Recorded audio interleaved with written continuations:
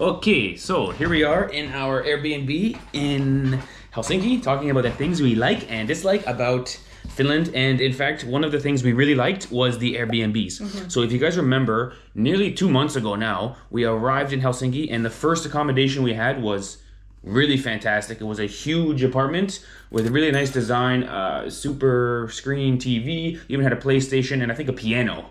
And since then, we've probably stayed in like 10 Airbnbs or maybe even more across uh, numerous different cities, and they've all been really good and had some surprising factors. So, for one, there must be a law in Finland that says if you're a host of an accommodation, you are legally obligated to provide coffee as well as coffee filters as well as a coffee machine because every single Airbnb has those three things, which is pretty great for us because a lot of countries we've been to, they don't even have a coffee machine. Never mind the filters and in fact the freshly ground coffee. So it's nice for us every morning. We know uh, our coffee will be just the way we like it. Also, this key maybe is not impressive to Finnish people, but every single Airbnb we've stayed in has this magical key where if you're out in the streets in front of the building, you use this key to enter the lobby. Once you go up the elevator, you use the same key to open your apartment door. Wow.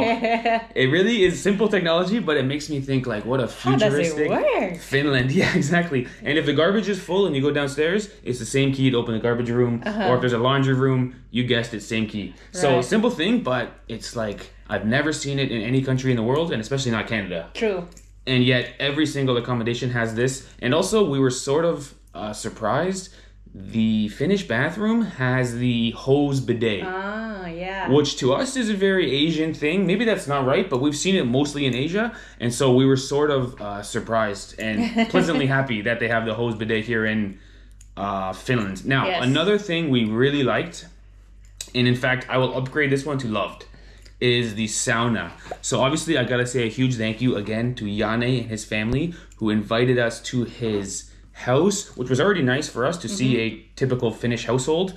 But in the backyard is where the magic happens because they have the traditional wood burning sauna where we got really hot, like 90 some odd degrees. And then we went into the cold lake and we did the hot, cold, hot, cold three or four times and finished off our experience with some sausages and beer. Was superlatively good experience. yeah. And uh, one of the comments described the sauna as simultaneously extreme and meditative. Hmm. And I thought this was a good description because when the air is so hot, it actually kind of burns your nose on the way in. yes, yes. And so Yane rightfully told us that if you breathe slowly, it won't hurt so much. So you're in this extreme heat and you're focusing on breathing slowly and sort of slowing your heart rate. And the feeling after the hot, cold, hot, cold, hot, cold is like extreme relaxation. yeah, it's kind of healing and also good for your body. It's really quite fantastic. And actually, every single gym I went to in Finland had a sauna in it. True. So it became part of my routine, like twice a week in the sauna. I can honestly say now that we're going to Croatia, I will miss the sauna. I'm gonna find somehow to somehow some way to get a sauna in Croatia Yes. because it's part of my like weekly routine. It's really great feeling. Yes, it's good for your body. And I even see like pregnant women going into the sauna because I am pregnant and I thought the sauna is bad for you when you're pregnant. But I consulted with my midwife and she said it's totally safe and I trust her. She's a very good midwife. In fact, I like, I really like the healthcare here because I went to pregnancy clinic and everything was super organized, super efficient. I made an appointment. I was in the room on time, no later than one minute. it was a really good experience as foreigners. Obviously, I'm not a Finnish citizen, so I have to pay for the healthcare. But it's quite affordable actually. The Uh-huh. cost isn't so, you know, uh, I mean, it's Finland. I thought it would be like the healthcare. If you're not a citizen, it would be, it would be super expensive. Right. But it's quite affordable. I did a few lab tests for my pregnancy with the midwife, and she even referred me to a doctor here in Finland to give me some prescription med- medicine, which I was trying to do that in Sweden, and I was not able to unless I go to the emergency room. So, as a foreigner, it's a great experience here Yeah. with the healthcare, and I assume if you are a citizen here, it's even more better. Right. I think. Is it free here? Yeah. Yes. socialized, yeah. The healthcare is free here to use, and it's very efficient. I, really like it. Right. So many Finnish people were recommending to us the baby box. They're very proud of this Yes. baby box phenomenon. Evidently, it's like a box that has everything you need for the pregnancy, Yes. and the box itself can be used as a crib to sleep the baby in. I'm jealous. I want one of those boxes. People were saying you got to get the Finnish baby box. Now, one thing we didn't like, and I don't want to talk too much about it because maybe complaining about this Mm-hmm. is slightly obnoxious, but we didn't really love the weather here. To be fair, we showed up in March. Which is Yes. not the good time of year for the weather. Ivana and I don't mind the winter if the snow is falling beautifully and it's sort of crisp and fresh. There are things to do in the snow, Yes. uh, as well as we both love the summer, obviously. But in the spring months, it's sort of not winter and not summer. It's similar spring to Canada here in Finland, although I guess this particular spring was longer than usual. yes. So we're into May now, and it's like the high is like seven degrees in May. so it's been a long spring. Um, to be fair, this is the time of year we came, so it's it's not really fair to complain about it. But we didn't have many experiences outdoors Yes. most of the things we did as tourists were indoors. Yes, Because the weather was just not great. Yes, it's May and it is still cold, but I still see a lot of people eating ice cream outside. Mm-hmm. And my favorite, the best thing, is the salmiakki ice cream. So delicious. It's the best ice cream there is. Yes, I think so. Like in the world, maybe. It cannot be beaten. For 32 years of my life, I thought it was mint chocolate chip best ice cream, which to be fair is very Ah, good. yeah. But salmiakki ice cream, It's it's so, the greatest dessert. It's so unique. It's so good. It's so unique. We describe it as salty licorice, but it's not. It's ammonium chloride, but it's so tasty. yes, yes. It's so tasty. We've had it so many times. I've never tasted like ice cream like that anywhere else in the world. It's only here in Finland And you can find it. Definitely the best ice cream you can get. It's so, It's so good. good. to be fair though, to be clear, I kind of dislike the salmiakki candy itself. which is very funny. I like the ice cream, but not the candy. Same like me. You too, right? Yeah, it's same just so strong. There's that flavor in it. You know what I mean? Yeah, it doesn't work for me in candy. It's too powerful in the candy. Somehow in the ice cream, it's like sm- smooth and cold. Yes. Uh, and it's funny that Finnish people eat a lot of candy, yes. and yet they're not overweight. that's true. Very funny. Even on Right? Vappu May Day, we saw tons of people walking down the street with a beer in one hand and candy in the other. Like the string candy. yeah, I've never once had beer and candy simultaneously. I feel like I would have a huge belly. I know, I'm jealous. Going to Finland is like walking into a candy store and Yep. I'm looking at these people. They're eating candy and chocolate bars and they're like in good shape. I'm like so jealous. If I do that, I'll gain like 15 pounds. Immediately, yeah, uh, I think Finnish people overall are sort of athletic people. Right. And one of the things we really loved is our experience in the hockey arenas watching Mm-hmm. uh, the greatest sport ever made, ice hockey. so obviously we liked the product on the ice. It was Mm-hmm. fun hockey to watch. Some really exciting games, especially in the playoffs. Uh, also, the fan culture was really, really great. yes. People cheering and uh, lots of people wearing jerseys and scarves and hats. It really was a fan crowd, not like Toronto where it's mostly business people. But especially in between intermissions, we loved meeting people. Uh, Mm. because we made so many hockey videos, they would recognize us. One guy even gave us a bag of candy. Yes, of that's course. right. um, but we met so many sweet people, and the reception on YouTube was so good about uh, hockey. We were interviewed at uh, intermission. We were on the Mm-hmm. jumbotron. We were doing radio interviews. So some of our best memories will be in the hockey arenas. I'm already potentially planning a return next year for the playoffs. We have to see when to come back to Finland. We want to do the Christmas thing. We want to do the summer and cottage and. And uh, canoeing, and then unfortunately, hockey playoffs is in that middle zone, yeah. which is not the time we want to come. So but should we come during the winter, hockey time, or summer season? yeah, exactly. At the very least, we are pretty confident we'll be back in Finland one day. Yes, yes. We don't know exactly know when, but potentially hockey and then yes. summer or something. And during the hockey finals, actually, we were going back and forth between Tampere and Lahti quite a lot. And what I like is uh, their public transportation here in Finland because we use Absolutely. the train quite a lot and it's always on time. It's never late, Uh huh. clean, Yep. We can always find seats if there is no reserved seats. True. And also, there's always a bathroom in the train, which is Also clean. also clean bathroom. Yeah Very clean bathroom. Actually, the bathroom in Finland it's always clean. I never found like a dirty bathroom. True. But anyway, and it's affordable as well. yeah You know, so we were in Sweden, and actually one time our train was canceled. Like one of the first trains we went on. Yes. We didn't film this particular day, but if we did, it was right out of Amazing Race. They told us at the last minute, "Oh, you got to get on a different train across the whole train station," and we were sprinting to the train station, Right. and we just made it within like ten seconds. We jumped on and started moving. Yes. it was like right out of a movie. And another time our train broke down in Sweden and we mm-hmm. had to switch train. All this stuff never happened to us in Finland. We always had a smooth ride here in Finland with the public transport. True. Well, it was one hundred percent reliable. Yes. Yeah. Although what I don't like is the flight from Finland or to Finland from other countries, even in Europe, Yes. is quite expensive. Fair. Except maybe to Sweden.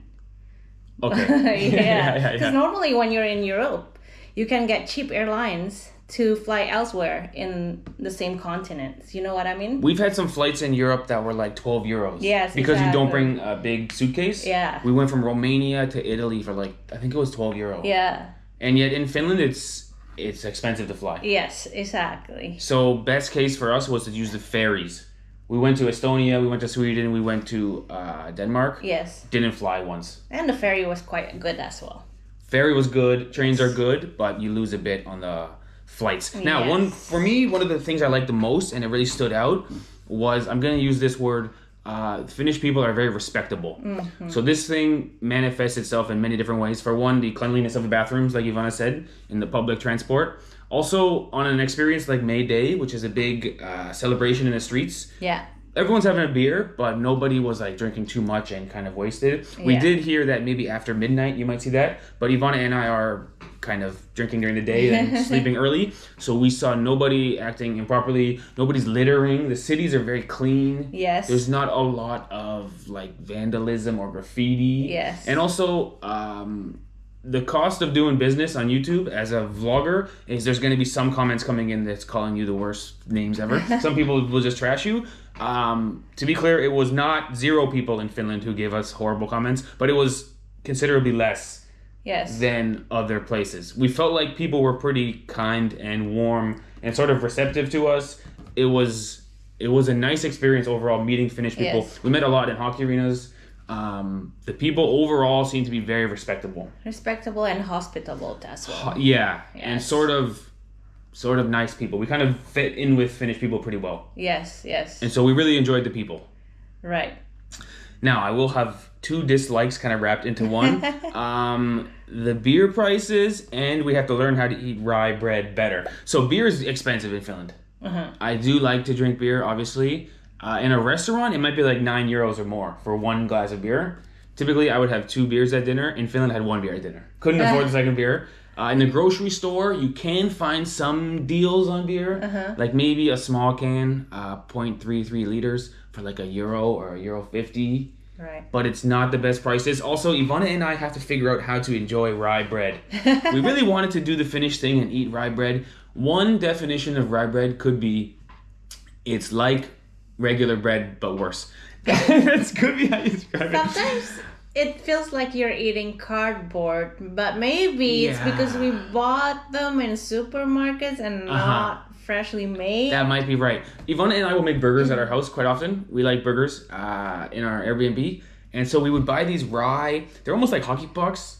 They look a bit like burger buns. Yeah, yeah, yeah. And we couldn't get the to, to work well. It was always dry and not as good. And I was like, man, we should just buy the brioche bun. We really want to do the Finnish thing. Um, we enjoyed lingonberry. We enjoy reindeer meat. We like to eat the local food, but rye bread, it's a source of pride. And for us, I think I just prefer white bread with zero nutritional value.